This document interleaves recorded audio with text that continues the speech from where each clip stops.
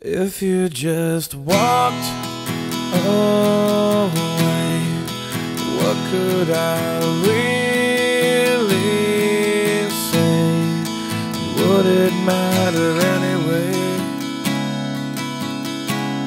Would it change how you feel?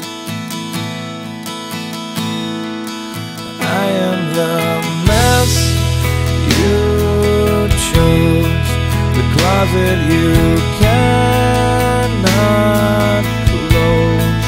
The devil in you, I suppose.